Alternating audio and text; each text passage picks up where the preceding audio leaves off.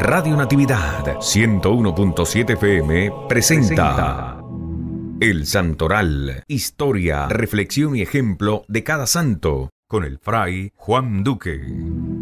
Hoy 17 de noviembre recordamos a Santa Isabel de Hungría.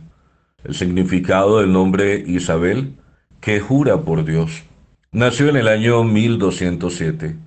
Isabel a los 15 años fue dada en matrimonio por su padre el rey de Hungría, al príncipe Luis VI de Turingia.